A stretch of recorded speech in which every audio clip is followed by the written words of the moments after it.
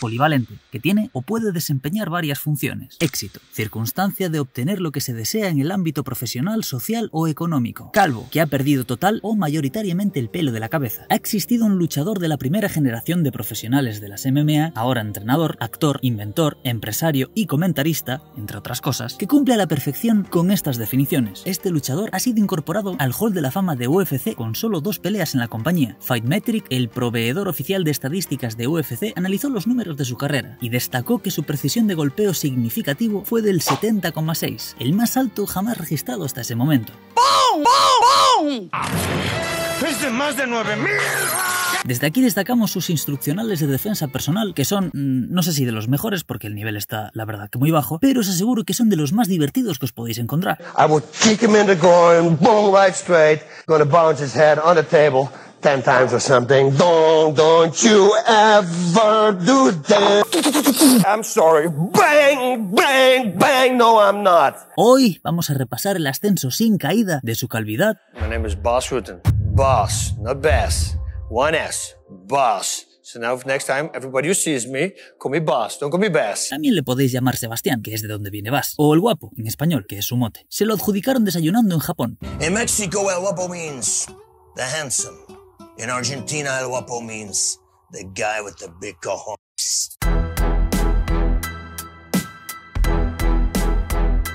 Nace en Tibur, Holanda, en 1965. A los 6 años desarrolló eczema y asma grave. El eczema de Bass significaba que siempre usaba mangas largas, cuellos de tortuga y guantes, y su asma significaba que no podía hacer ejercicio. También llevaba gafas, y en consecuencia de todo esto era un niño muy delgado y raro, que lamentablemente lo hacía un blanco para el bullying, siendo acosado a diario. Ya sabéis, los niños, así como los adultos, a veces son unos auténticos ¡Hijos de puta! Bass empezó a entrenar boxeo en el patio trasero de una escuela primaria con un amigo, pero se interesó por las artes marciales a los 12 años, después de que su familia se fuera de vacaciones a Francia, donde en un cine local se proyectaba la película Enter the Dragon, protagonizada por Bruce Lee.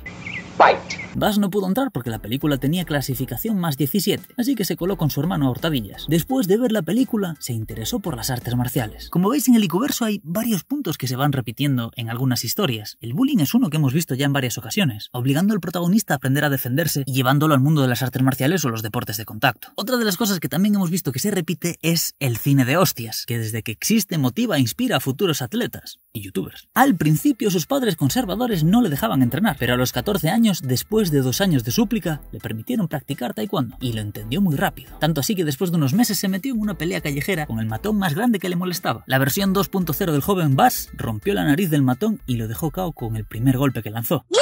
Lamentablemente la policía llegó a casa de sus padres y estos inmediatamente le prohibieron seguir practicando artes marciales.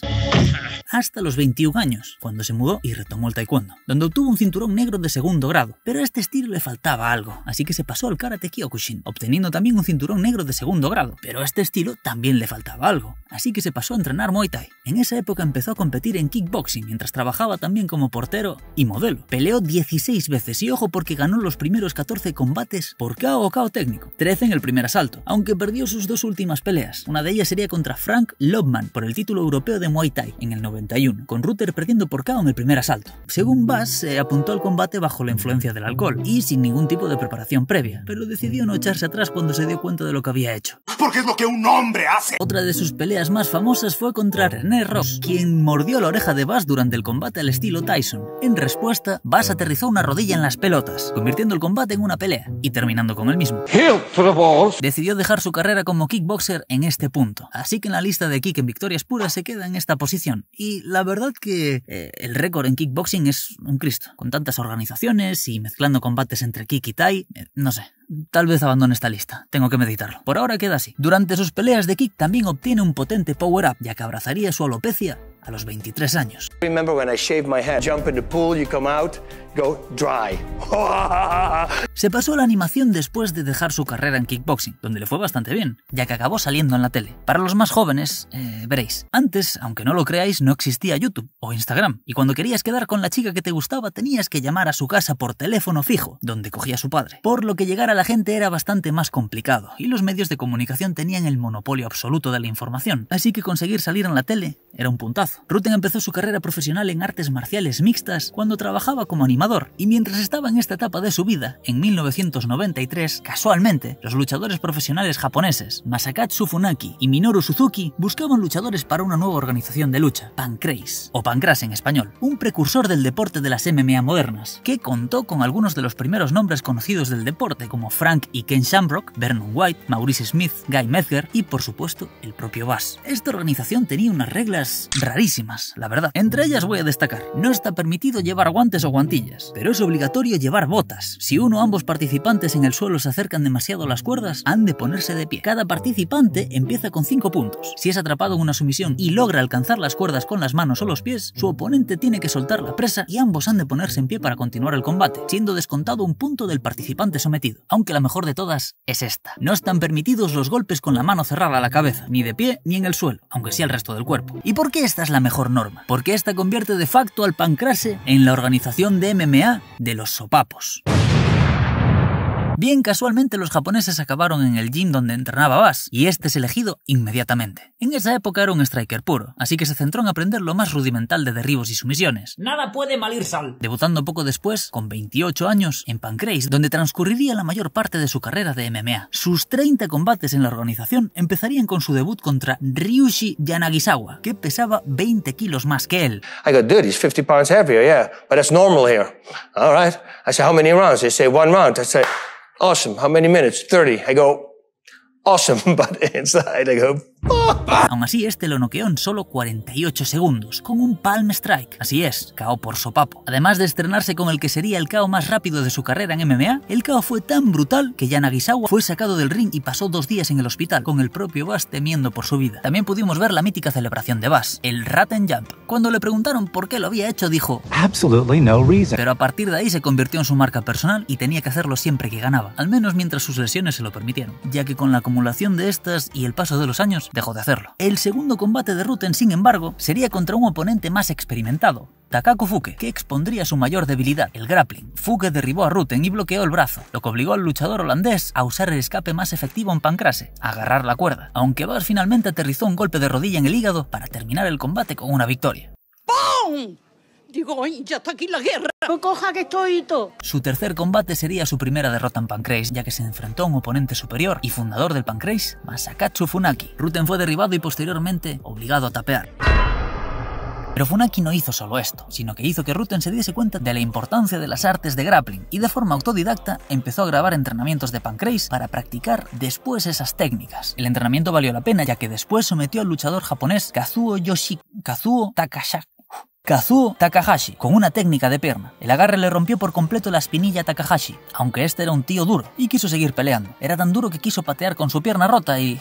Bueno, este combate le valió a Ruten un cinturón negro honorario de quinto grado en Kyokushin Budokai. Tras esto, obtuvo su primera victoria de alto nivel contra el otro cofundador del Pancrase, el previamente invicto Minoru Suzuki. Bass lo derribó con una patada al cuerpo, resistió todos sus intentos de sumisión en el suelo y luego aterrizó con una rodilla en el hígado. Solo 20 días después se enfrentó a otra prueba de fuego, luchando contra el futuro miembro del Salón de la Fama de UFC, Ken Shamrock, quien entonces era uno de los mejores luchadores de Pancrase. Esta vez, el holandés tenía al mismísimo Masakatsu Funaki en su esquina, ya que Bass no solo consiguió que los fundadores de Pancrase le contratasen, no solo se enfrentó a ellos en su propia organización, además, después de eso, consiguió que los japoneses le enseñasen oficialmente su estilo de combate y que acabasen en su esquina. Si es que este tío te tiene que caer bien. Aún así, tras unos sofisticados escapes de sumisiones, finalmente fue derrotado por un mataleón a día de hoy la técnica de grappling más eficiente. En este momento decide centrarse solo en mejorar su grappling, omitiendo por completo el entrenamiento de golpeo. Y una vez más, el trabajo duro da sus frutos, porque el siguiente combate lo vence por sumisión sobre el cinturón negro de jiu-jitsu brasileño Jason de Lucia, pero para ser derrotado por Frank Shamrock justo después. Eso sí, por decisión, y mostrando sus mejoras en grappling. Además, venció su siguiente combate por un triángulo de brazo, durmiendo a su oponente. Tranquilos, coño, que no está muerto. Pero para ser derrotado nuevamente por Ken Shamrock. Sí, por otra sumisión en 61 segundos. ¿Qué creéis que hizo Bass? ¿Rendirse? Pues no. ¡No! Entrenó grappling más todavía, con locas sesiones de entrenamiento de varias horas varias veces al día, cada día, convirtiéndose en un auténtico experto de estas disciplinas. Aunque nunca tuvo un gran nivel de defensa de derribos, con su alto nivel en golpeo y su alto nivel en suelo, se convirtió en un luchador de MMA completo. A partir de este punto tuvo todavía 19 combates más en la organización, donde no fue derrotado ni una sola vez, venciendo por sumisión 12 de ellos. De estos 19 combates voy a destacar los siguientes. La revancha contra Frank Shamrock, en la que pudimos ver su mejora en los agarres y venciendo por decisión. La revancha contra el fundador y una de las personas que le enseñó grappling, Minoru Suzuki, venciendo por guillotina y ganando el título de King of Pancrase por primera vez.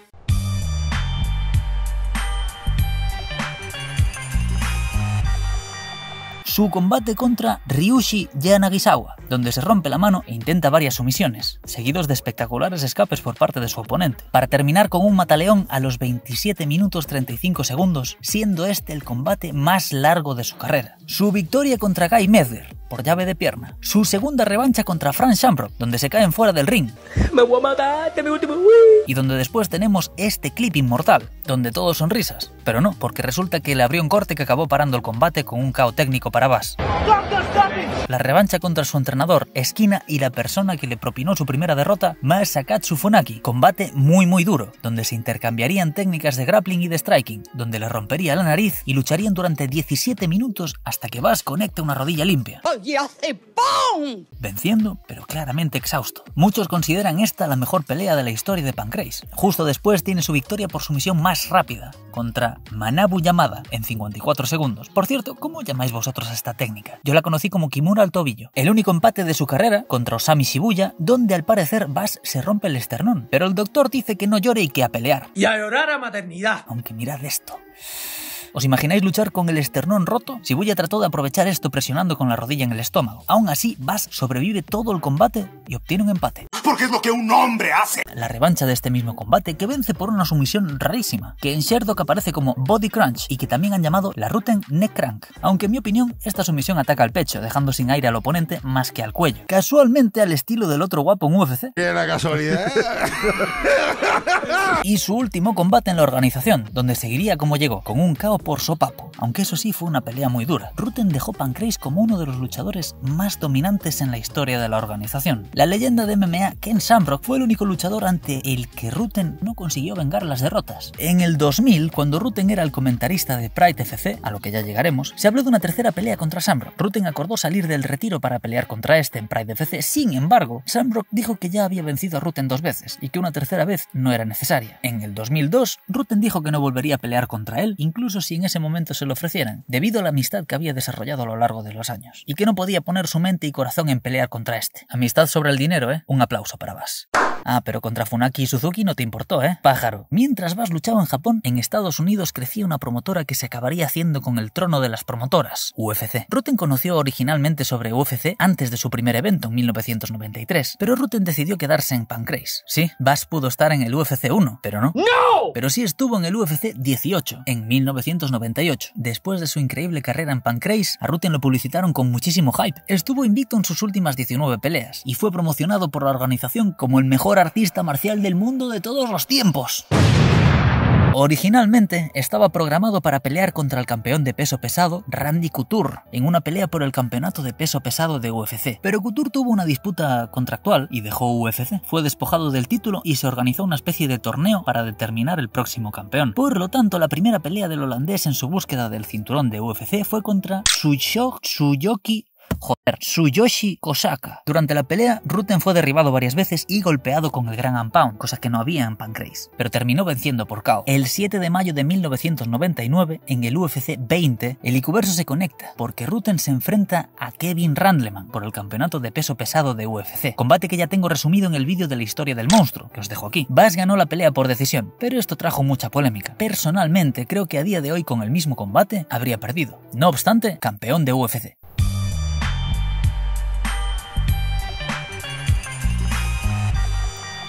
Aunque dejó vacante el título a finales de ese mismo año, para bajar al peso semipesado, un peso más cercano a su peso natural, en un intento por tratar de convertirse en la primera persona en tener un título de UFC en dos categorías de peso. Sin embargo, terminaría por no continuar con esta empresa, ya que mientras entrenaba para su próxima pelea, sufrió múltiples lesiones graves, como hacer estallar su rodilla, romperse el bíceps, una lesión de cuello y mucho más. Se vio obligado a retirarse de la competición por orden del médico. Y la historia podría acabar aquí.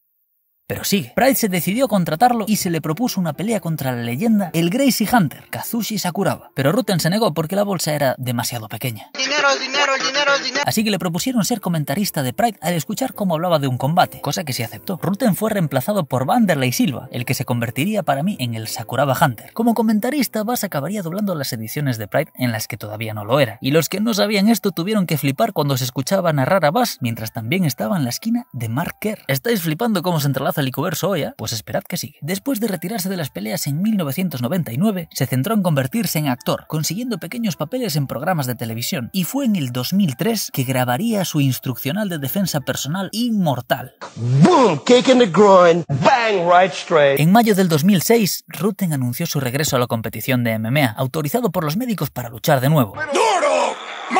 Rutten luchó contra Rubén Villarreal, llevándose una victoria en el primer asalto tras reventarle la pierna a patadas. Con esto elevó su récord profesional a 28 victorias, 4 derrotas y un empate, aunque después de la pelea, Rutten dio positivo en hidrocodona, morfina y difenidramina, Uy, no lo puedo creer. pero manteniendo la victoria, retirándose de la competición con 22 victorias consecutivas, ahora sí, de verdad de la buena.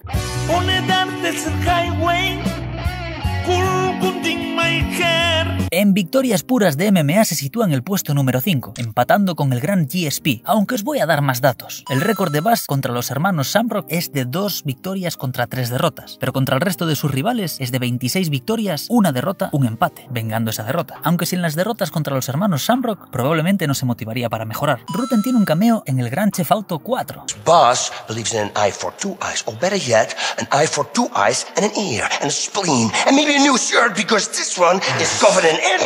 También fue de quien se sacaron los movimientos de pelea del protagonista. En el 2009 apareció en un vídeo musical. Su mayor trabajo como actor fue como secundario en la película que aparecerá en la sección de cine de hostias Here Comes the Boom o Peso Pesado, en mi opinión robándose el protagonismo totalmente. Está certificado como instructor de boxeo tailandés, artes marciales mixtas y Krav Maga. Ah, también es chef titulado. Es coreógrafo de películas, entre ellas, si no estoy equivocado, una de las que también me pedís mucho, Rompiendo las reglas o Never Back Down. Entrenó a Mark Kerr durante el rodaje del documental de HBO The Smashing Machine. También entrenó al ex luchador callejero Kimbo Slice para sus combates profesionales de MMA. De estos dos ya tenéis historia. Pero Bass tiene un lado oscuro, y es que es conocido por sus peleas de bar en todo el mundo. En particular, una vez arrojó a Paul Valerans a través de una ventana en Kiev, cuando Valerans intentó morderle la espalda. Sí, yo tampoco lo entiendo todavía. Inmediatamente después desarmó y le dio lo suyo a un portero. También tuvo una pelea en un bar de Suecia, en la que luchó contra varios porteros al mismo tiempo. Y esta pelea es bastante notoria, ya que llevó a Rutten a la cárcel. ¿Veis cómo sus instruccionales de defensa sí tienen base?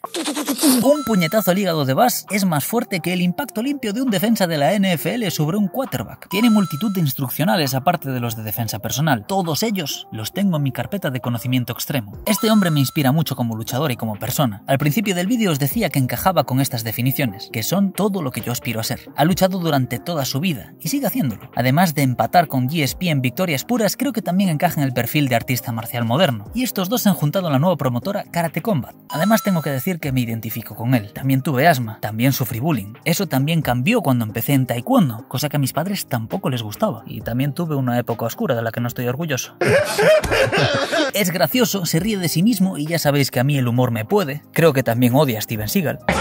Twice he came off would win a fight between Steven Seagal and Boss Rutten. We'll slap him, pop, pop, pop, pop in the face, grab his ponytail, maybe a headbutt here and there, and then fold him up. Por todo esto y más, en la lista de calvos fantásticos ocupa el puesto número uno.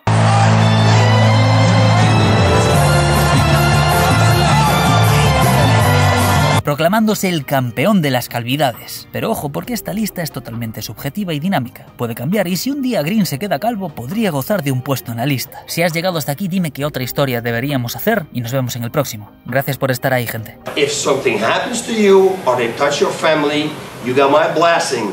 Take them out. Hasta la vista.